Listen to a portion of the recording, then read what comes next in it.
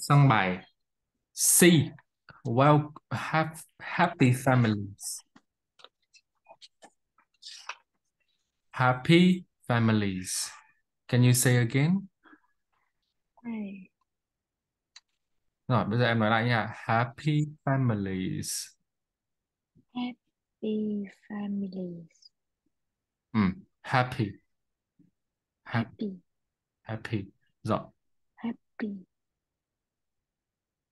Ừ. Family. Very good. Trong bài này chúng ta sẽ học một số từ vựng về families, về gia đình. Đầu tiên, mình vào bài 1 này. Ờ, study ở đây có nghĩa là nghiên cứu nhé. Nghiên cứu. Nghiên cứu. Family trees. Family trees là cây gia đình. Ở đây em sẽ thắc mắc là vì sao nó lại có chữ S ở đây. Ở đây nó không phải là to be. Em viết hộ thầy đây là ngữ pháp liên quan đến sở hữu cách. Thế nào là sở hữu cách?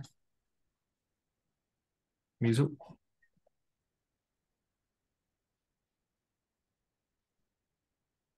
ừm, Sở hữu. ừm, sở hữu cách nhé. Cách cách biệt ấy. Sở hữu cách. À. Mà ừm, bây giờ giả sử mình có làm là my name có nghĩa là tên của tôi đúng không? My name là tên của tôi. Ờ, your name là tên của bạn. Được. Your name là tên của bạn. Thế thì ờ, bây giờ những người ta hỏi tên của bố bạn là gì? Thì em sẽ thì nói như thế nào? Em sẽ nói là dad's name. Đó, That name. tên của bố bạn. Thế thì có phải là cái chỗ từ bố bạn này này tên của bố không tên của bố nhá tên của bố không phải tên của bạn thì có phải bố này là cái đằng trước không Dạ. và tên là cái đằng sau không và nó được nối với nhau bởi cái này đó. Thế thì cái người sở hữu sẽ cho đằng trước và cái vật được sở hữu sẽ cho đằng sau. Nói lại nhé. Tên người sở hữu cho ra đằng trước. Cái vật được sở hữu cho ra đằng sau. Được chưa?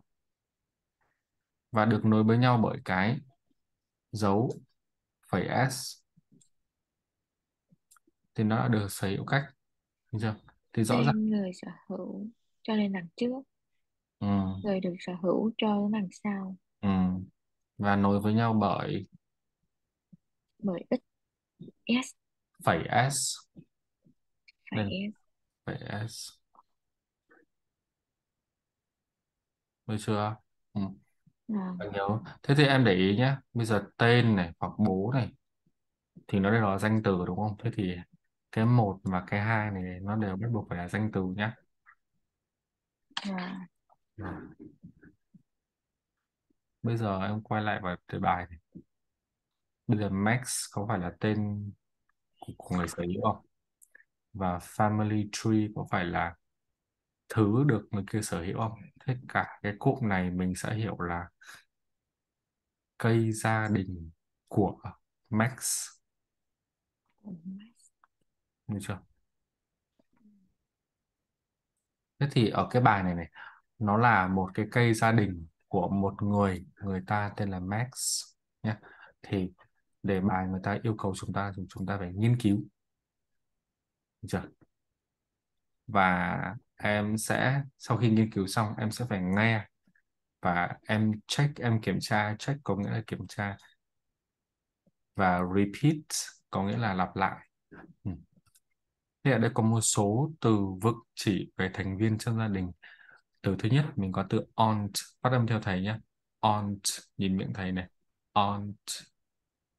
Aunt. rồi aunt chính xác. Aunt. nhớ này aunt được hiểu là ừm, cô dì chú bác với giới tính là nữ cô dì chú bác cậu mợ các thứ đấy. À nhầm cô dì chú bác mợ chứ cậu là khác rồi. Nha nhớ nha nhưng mà giới tính sẽ là nữ. Nhá. Giới tính nữ. Ừ. thế thì mình sẽ có một từ nữa. Lặp lại. À trái ngược. Đó là từ tiếp theo mình có từ uncle. Phát âm nhé uncle. Anh thì uncle đây là cũng là các bác các chú các cậu. Bác chú cậu. Những người này sẽ có giới tính là nam.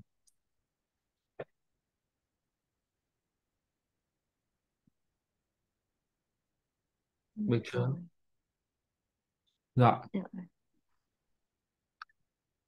tiếp theo mình có từ bên cạnh từ aunt là từ brother. Phát âm lại này bra brother brother. Bra brother. Rồi khá hơn rồi đấy khá hơn vừa hôm trước. Rồi tiếp theo. Brother. Brother nhớ nhá là em ruột của mình hoặc là anh ruột của mình nhưng mà giới tính nam nhé Được chưa? Dạ rồi tiếp theo mình có từ cousin cousin. Cousin. Đúng rồi cousin. Cousin là anh chị em họ. Nha. À, anh chị em họ thì gọi là cousin. Cousin. Thế tức là có nghĩa những cái người nào mà là anh chị em họ của mình là họ auto là cousin nhé họ tự tự động họ sẽ là cousin của mình mình không cần cái từ cousin này chúng ta sẽ không quan trọng về giới tính. Nha. Miễn là anh chị em họ của mình thì mình đều được gọi là cousin. Rồi tiếp theo. Dad. Dad. Ừ. tiếp theo. Grandfather grandfather ừ. tiếp theo. Grandmother. Grandmother. Rồi thẻ lưỡi thẻ lưỡi. The the rồi the ừ, rồi khá hơn. Grand.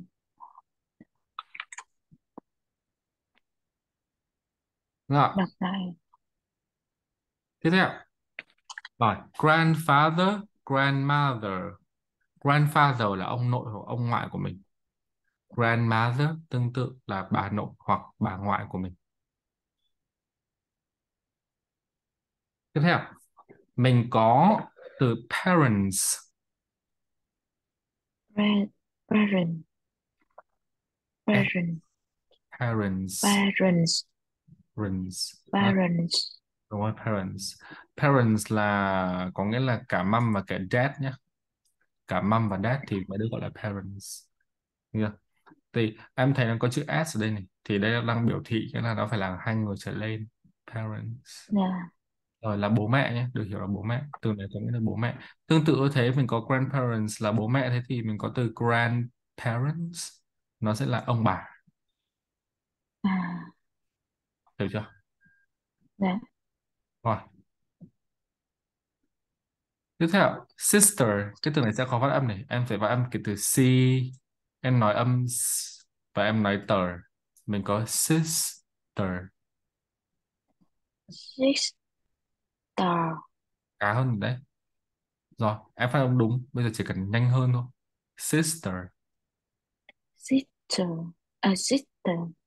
Ừ, nhớ luôn luôn luôn luôn phải có âm ở giữa nhé. Sister. Sister. Ok rồi sister. Sister. Rồi. Thế bây giờ ừm, bây giờ dựa vào các nghĩa của từ cho sẵn thì em sẽ biết đâu là chỗ để cần điền từ cần thiết. Bây giờ tưởng tượng đây là grandparents đây là ông bà của mình đúng không? Thế thì đây là me. Me đây là tôi. Tôi. À, ừ. thế thì mình có James mình có Harriet. Mà James sẽ là gì của em? Là anh hoặc chị. James rồi.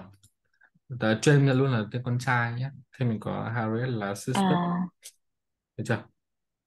Ừ, tiếp theo lên bên trên mình có từ dưới bốn nó sẽ là gì? Paul sẽ là tên của nam này.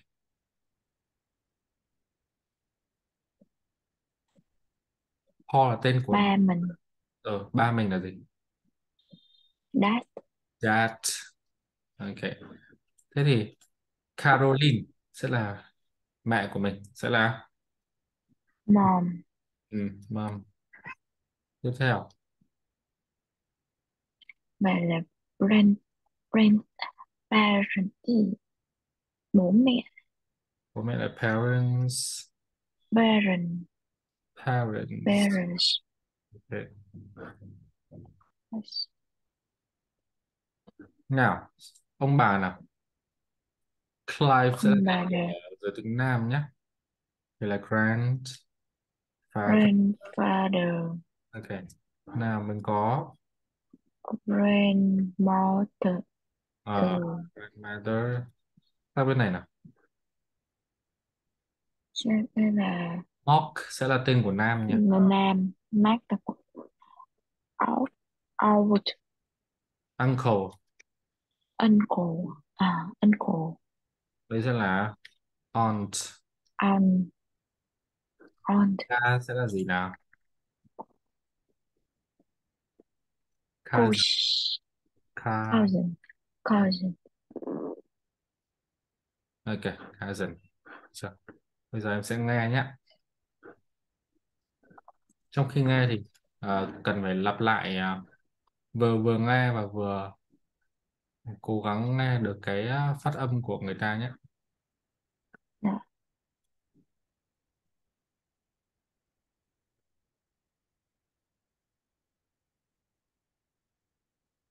Track 1.11 Student's Book Welcome C 1.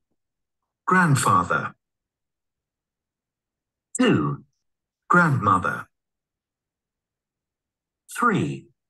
grandparents, 4. dad, 5. mum, 6. parents, 7.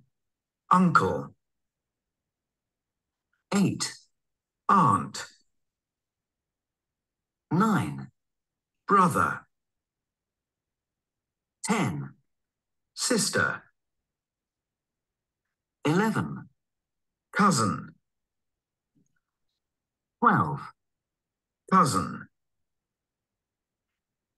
ok đúng chưa rồi nha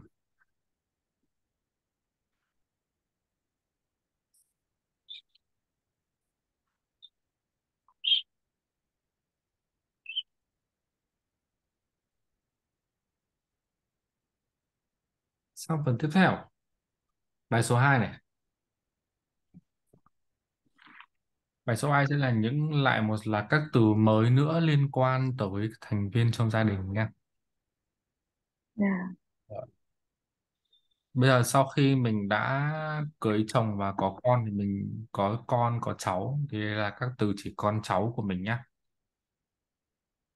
Nha Dạ. là có từ daughter phát âm lại nào. Daughter.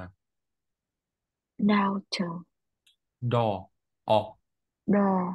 Daughter. Daughter.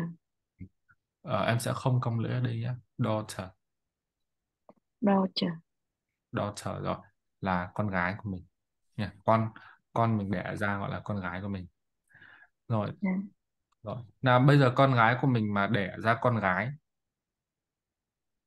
thì cái người đấy sẽ gọi là cháu của mình đúng không? Rồi. Dạ. cái từ cháu gái đó là granddaughter. Grand granddaughter. Đo không phải đau. À granddaughter. Daughter không phải chờ chờ chờ. Âm tờ không phải Grand granddaughter. Chờ. Granddaughter ok tiếp.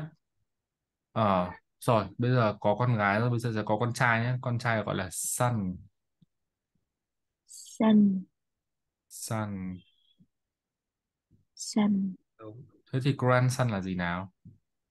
Cháu trai. Rồi. Tiếp. Husband sẽ là chồng. Chồng. Trong cái đó wife husband. Nhớ nhá nó có ở cái chữ s ở giữa thì chúng ta phải âm chữ s nhé. Husband. Husband. Rồi tiếp. Hu- husband sẽ là người cưới wife. Thì wife sẽ là gì? Vợ ừ. wife. Ừ. vợ được chưa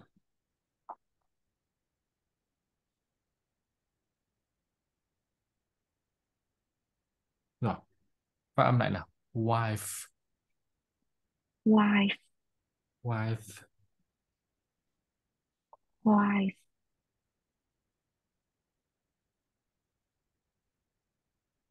Ok. Bây giờ nha. Ờ,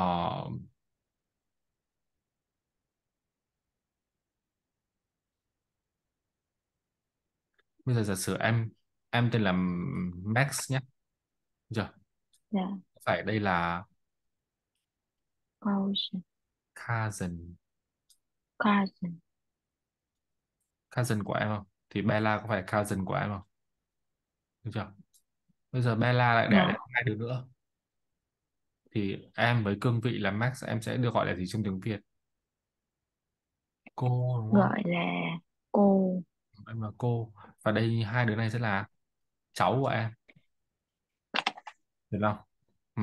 thế thì dạ cháu đấy rồi nó cũng sẽ có hai thể loại. Đây là cháu này cháu trai và cháu gái với cương vị là con của cousin nha.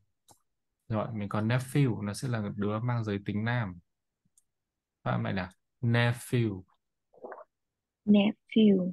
Rồi tiếp theo mình còn niece. Niece. Rồi là giới tính nữ. Dạ,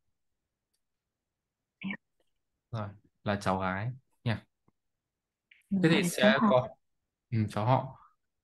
Thì sẽ, sẽ có sự khác nhau giữa từ nephew niece và granddaughter và grandson nha. Nhớ nha. Dạ. Rồi cùng ôn lại phát âm nhé daughter. Dau- daughter. Granddaughter. Granddaughter grandson. Grandson. Rồi husband. Husband. Nephew. Nephew. Niece. Niece. Son. Son. Wife. Wife. Nó có âm âm này này. Wife. Chính xác đúng rồi đấy tốt bây giờ em sẽ nghe và cố gắng điền từ 1 đến 8 nhé dạ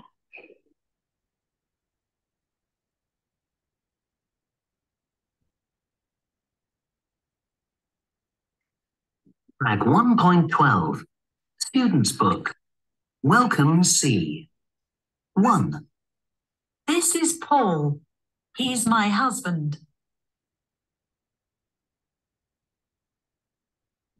2, This is James. He's my grandson. 3, This is Harriet. She's my niece.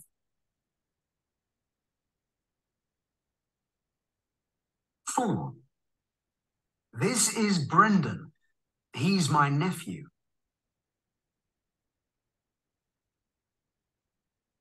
5, This is Mark. He's my son.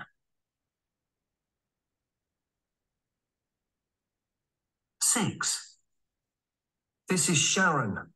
She's my wife. Seven. This is Harriet. She's my granddaughter. Eight. This is Bella. She's my daughter.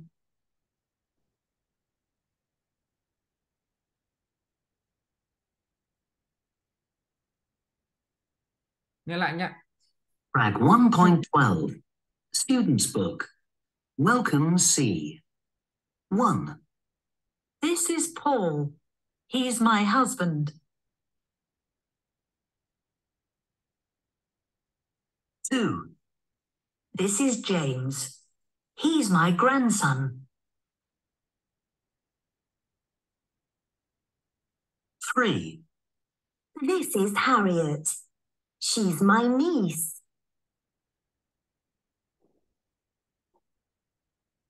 4. This is Brendan. He's my nephew. 5. This is Mark. He's my son. 6. This is Sharon. She's my wife. 7. This is Harriet. She's my granddaughter. 8. This is Bella. She's my daughter.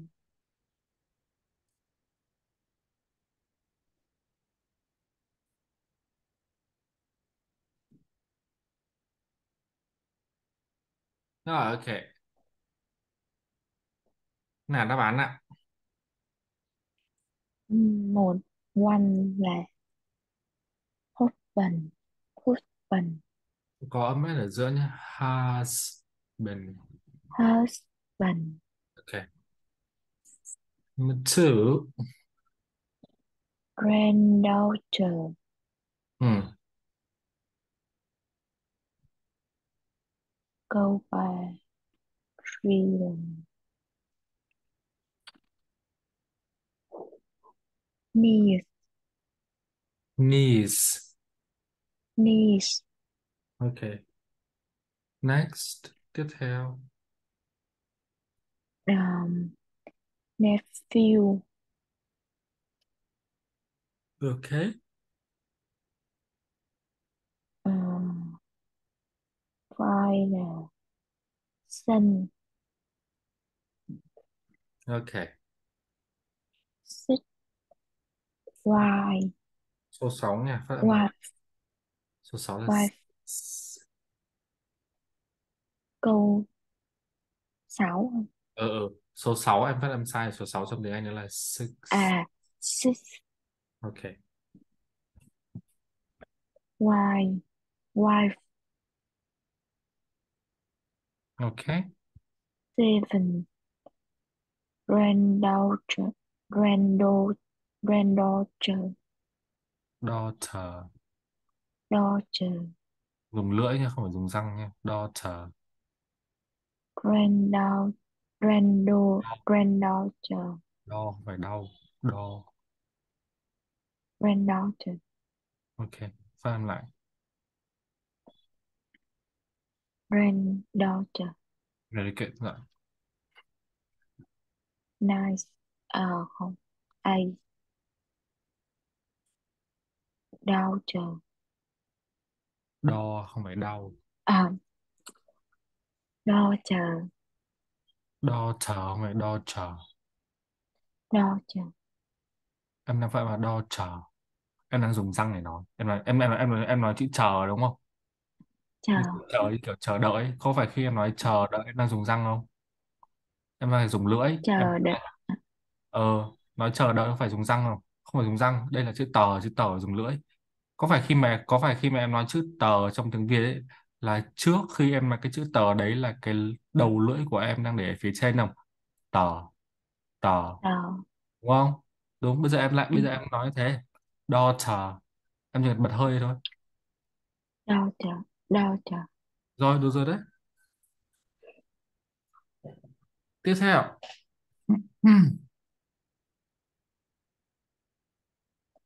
Mình sang phần này. Nó gọi là tính từ sở hữu nhá. Nhớ nhá, gọi là tính từ sở hữu. Ngữ pháp có tên là tính từ sở hữu.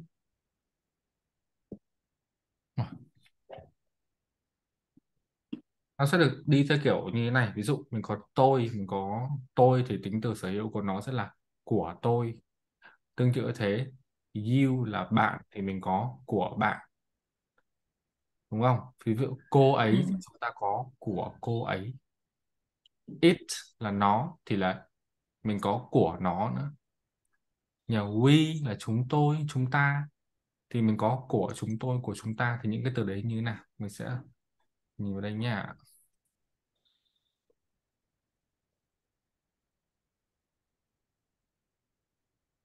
Đây. Rồi đầu tiên mình có I. I là tôi, của tôi sẽ là my.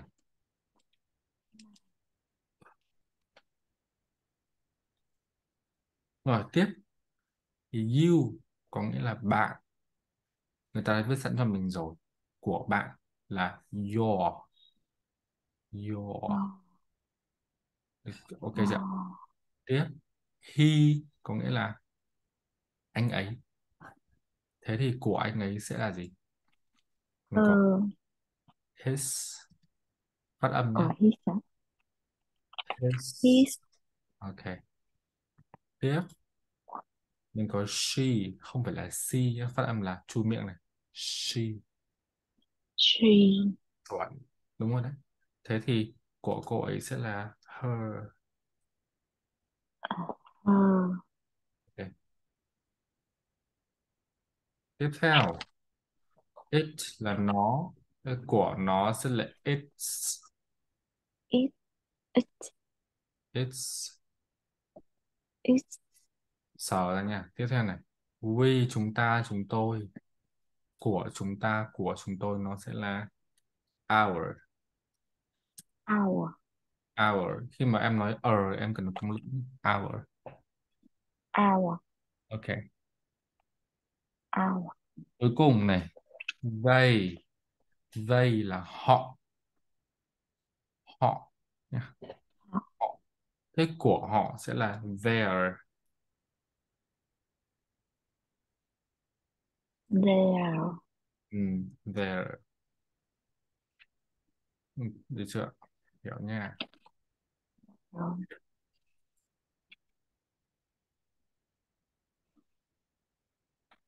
Ghi rồi đúng không? Dạ ghi rồi.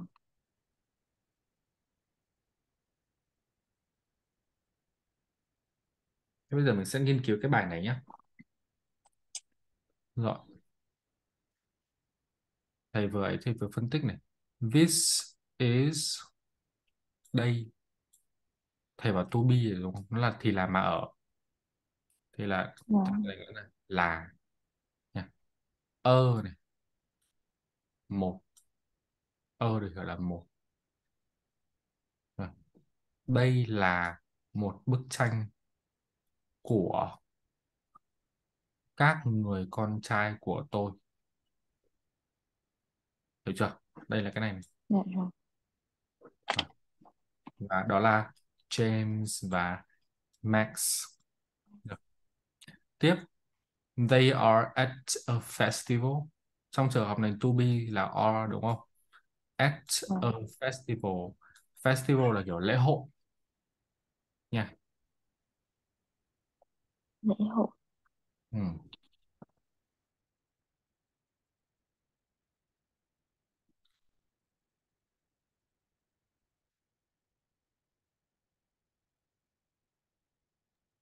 tiếp theo ừ. thế có phải là dùng to be chỉ vị trí không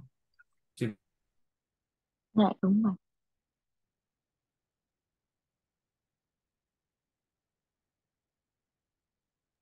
rồi tiếp theo thế có phải là họ đang ở một lễ hội không chỉ vị trí mà Được chưa? Dạ. Rồi.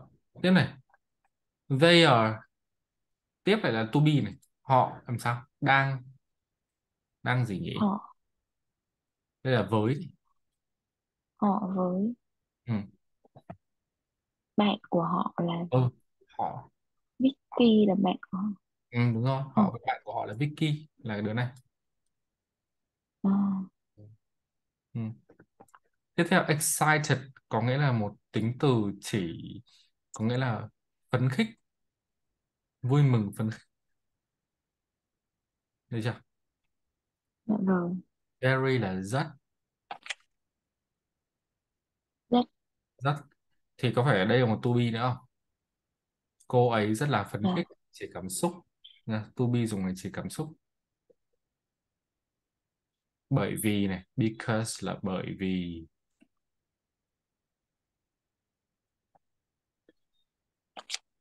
Rồi. Concert được hiểu là buổi hòa nhạc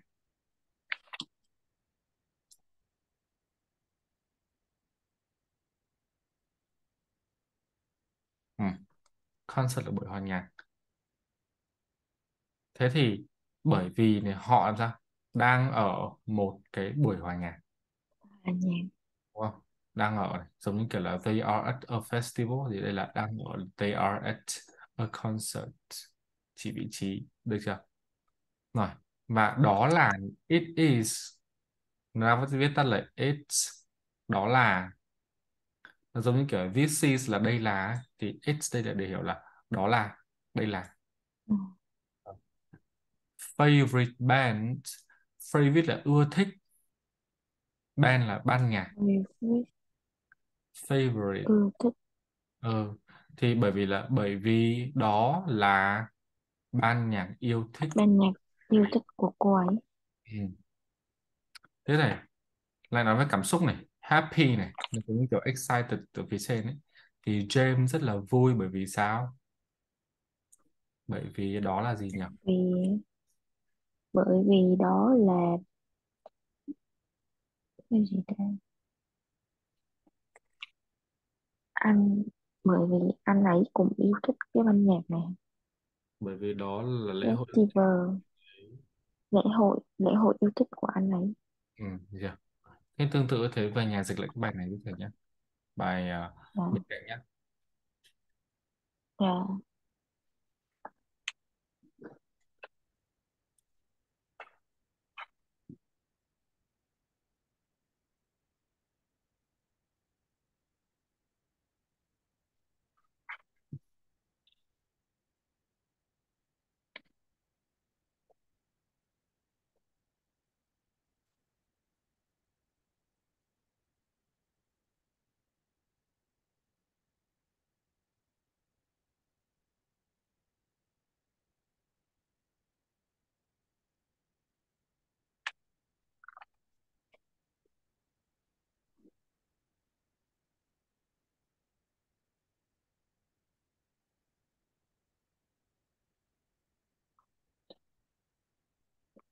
tiếp.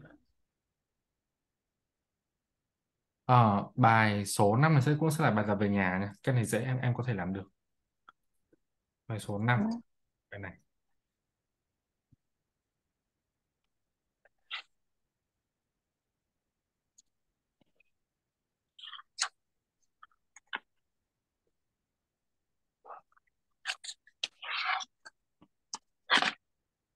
mình sang phần tiếp theo mình sang sang mình sẽ có một số bài tập liên quan đến chỉ cảm xúc.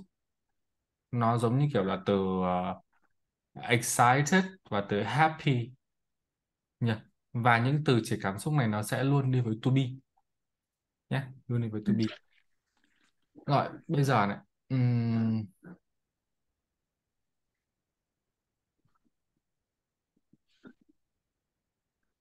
nào với cảm xúc đầu tiên ở hình thứ nhất em sẽ nghĩ đây là gì? Vui vẻ hạnh phúc hay là cái gì? Mắc ói à. mệt mệt. Mình đang thấy nó nó mình đang thấy nó cầm một cốc nước nha. Cốc nước. Khát nước. Ở khát nước. Đúng rồi khát nước sẽ là từ thirsty. Là cái từ này. Thirsty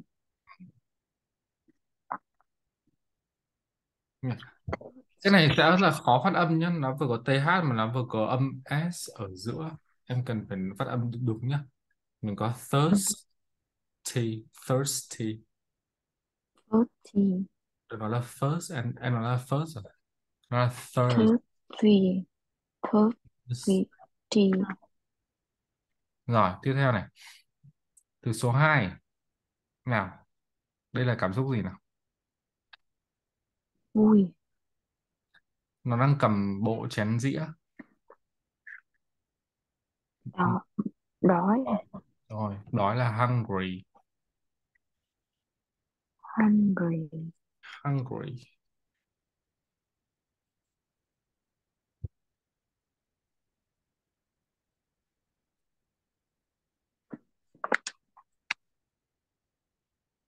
Hungry.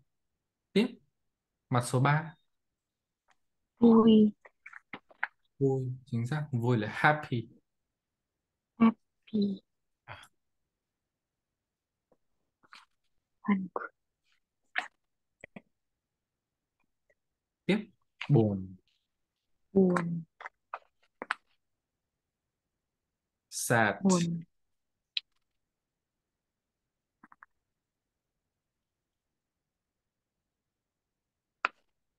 Tức giận ừ. angry. Angry. Ừ. angry. Tiếp. Vui nữa. Đây là phấn khích. Phấn khích. Phấn khích là cái từ mà vừa nhìn thấy ở trước đấy. Nhớ không? Excited. Ừ. excited. Excited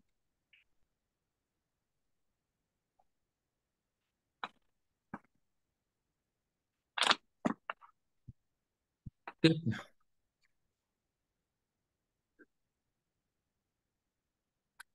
Từ này mặt đây là mặt nhàm chán nhé mặt kiểu bị buồn bị chán không có việc gì làm. Bored. Bored. Bird rồi bored. Nha.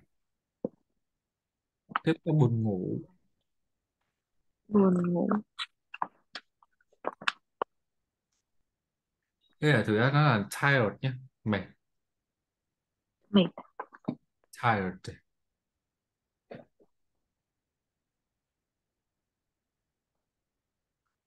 rồi thấy nóng. Đây là hình nóng đúng không? Nóng tính trái nghĩa là từ cold. Cold. Cold. Lạnh. Dạ. rồi. Cold. Rồi em đã ghi hết chưa? Rồi thầy Và bây giờ phát ra và lại giúp thầy nhé phát ra và lại ừ.